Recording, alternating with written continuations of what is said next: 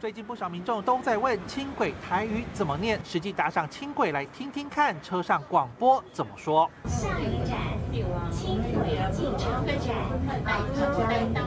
轻轨高捷公司采用的是华语跟台语并列，但住在附近的居民又怎么称呼自家旁边的轻轨站呢？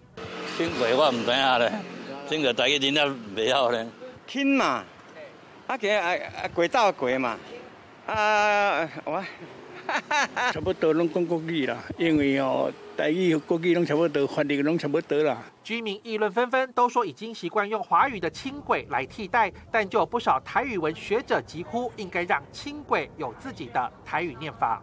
轻轨的台语该怎么念？最近引发讨论，在车上的播音是讲轻轨机场站，但是最近却有人认为应该要讲成轻铁机场站。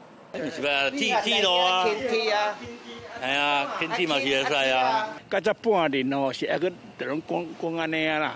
啊，这边个专年啦吼，大家拢讲轻轨拢变固定啊啦。有人觉得华语轻轨的说法已经约定俗成，不必特地去改。但有人觉得轻铁的说法简单明了，可以接受。多用轻铁好带头，台古新书报你知。适逢世界母语日，长期推广台语文发展的公民团体就呼吁，应该全面检讨，让新的词语都有自己的台语说法，才能让语言有生命力。不管是中央的、地方的，拢应该爱来清查，就是好每一个人伫咧坐车，吼伫咧公开场合所听到的这语词是咱这个语言的。经各界宝贵建议，轻轨一词的台语即会依建议采用轻替一词来发音。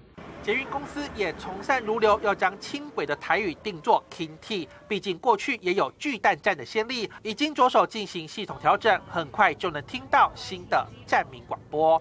民事新闻书身为郑兆佐、陈生汉，高雄、台北报道。